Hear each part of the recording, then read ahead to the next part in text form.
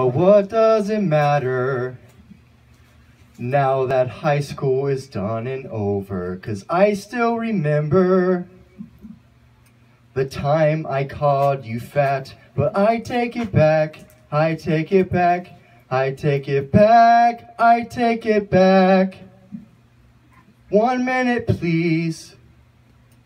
Let me get in my time machine and go back to the fat girl and let her know that she's special to me. Yeah. Thank you.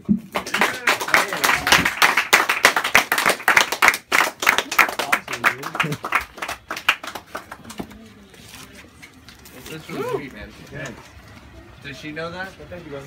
Uh, no, she doesn't. Well, you She should let her can't. know. Yeah. Thank you, man. I appreciate it. Thanks. You should let her know, man.